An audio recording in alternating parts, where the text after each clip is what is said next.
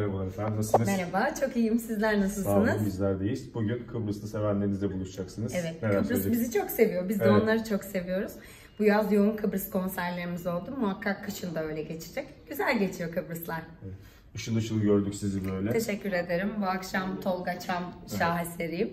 Çok sağ olun. Oldukça da fitiz. Bu yoğun tempoda herhalde spora da zaman kalıyor zannedersem. Ya aslında bazen kalıyor bazen kalmıyor ama biliyorsunuz yaz sonunda evleniyorum. O Evet. yüzden fit olmak durumundayım. hani boğazımı tutuyorum sürekli. Öyle diyeyim. Hazırlıklar ne durumda peki?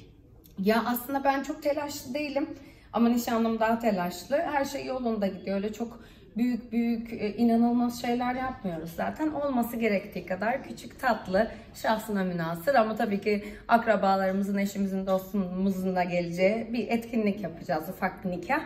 Öyle olacak. Çünkü en son röportajımızda düğün istemiyoruz, Evet. onunla uğraşamayız demiştiniz. Herhalde fikriniz değişti mi? Benim değil, bizim ailelerimizin fikri daha çok hep öyle olur ya bizim ne istediğimiz değil de onların ne istediği olur. Biraz öyle. Hem ailelerimizi de mutlu etmek istiyoruz.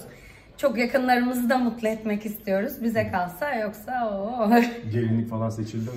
yok Provalar yapıldı mı? seçilmedi. Son dakika olacak o zaman. Ya- Var mı bir gelinlik hayaliniz? öyle çok büyük hayallerim yok aslına bakarsanız öyle inanılmaz bir gelin falan olayım derdinde değilim. Tatlı şanslı münasip bir gelin olayım istiyorum. Daha seçmedim ama çok kötü bir durum. Zamanı var diyorsunuz herhalde. Ya aslında zaman yok ama ben bir türlü konserlerden vakit bulup gidemedim arkadaşlar. Kötü durumdayım. Bir balayı planı var mı ondan sonrasında? Dinlenmek Yok için konser var konser. Hep iş mi? evet ya şöyle söyleyeyim nikahım nikah olacak. iki gün sonra konserim var Kıbrıs'ta yine.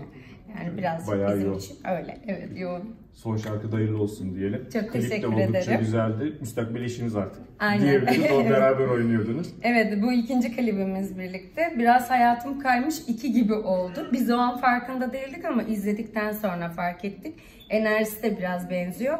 Ama bundan sonra gelecek olan bir Ersa Üner, Onur işbirliğiyle yaptığımız üçümüzün şarkısı gelecek Baler'in. O bayağı bir güzel olacak bence. Kışın insanların hareketli şarkı ihtiyacını giderecek bir şarkı hazırlıyorum şu an. Onun dışında tribütlerimiz var. E, Biliyor musunuz bilmiyorum. Ee, Azer Bülbül tribüt albümünde Üzülmedim ki seslendirdim. Birinde o çıkacak. Sonra İbrahim Er- Erkal tribüt var. Orada Çare Gelmez'i söyledim zaten. İnanılmaz güzel bir e, etkisi var insanların üzerinde. Mükemmel olacak inşallah. Son dönemde de arabesk şarkılarla çok birleşti. Rap şarkılarla pardon. Evet evet. Ee, Nasıl buldunuz?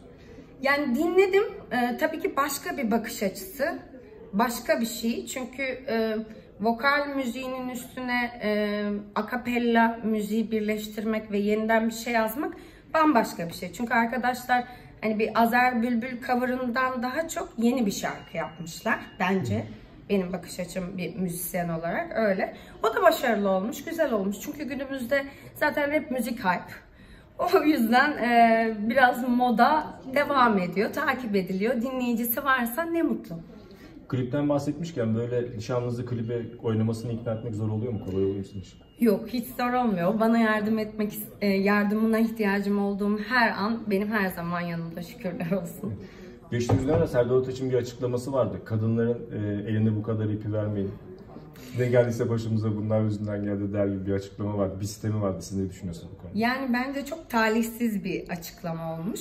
E, kendisi de pişman olmuştur diye düşünüyorum. Çünkü gördüğüm kadarıyla çok gelgitleri oluyor son zamanlarda. Ben böyle şeylere çok kafa patlatmıyorum aslına bakarsanız arkadaşlar. Çünkü insanların dönemleri, ruh halleri, sağlıkları nasıl oluyor bilemiyoruz.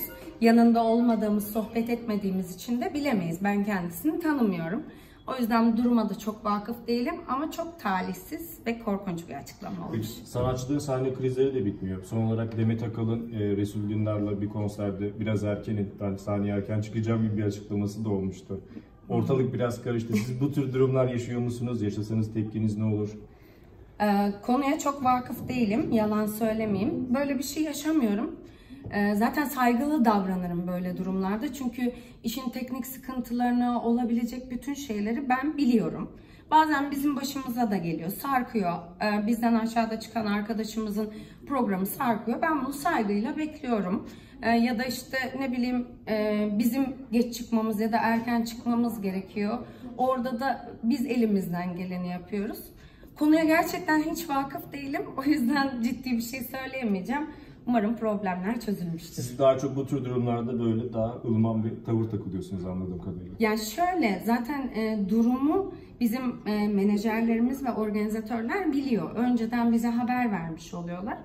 Ben zaten benden bilmem kaç yıl öncesinden beri var olan müzisyenlere her zaman inanılmaz saygılıyım. Hep yani bir kere yıl farkı var, emek farkı var. O yüzden her zaman saygı göstermek zorundayım zaten. O yüzden öyle bir derdim yok. Geçenlerde bir e, hatta sahne e, vardı. Yani geçenlerde dedim önümüzde bir konserimiz olacak. Menajerim beni arayıp dedi ki bu e, sanatçımız senden sonra çıkacak. Senden yukarıda çıkacak dedi. Dedim başım üstüne. Çünkü o benden çok önce var. Kim olduğunu öğrenebilir miyiz? Ee, yok zaman değil. Ama benim öyle dertlerim yok. Altta çıkmışım, üste çıkmışım. Ee, yani hiç öyle bir egom olmadı. Ben e, seyircimi mutlu etmenin peşindeyim. İnsanlarla bir araya gelmenin peşindeyim. Önce çıkmışım, sonra çıkmışım hiç önemli değil. Peki. Ağzınıza sağlık. İyi Çok sahneler. teşekkür ederim. teşekkürler, çok çok sağ olun. olun.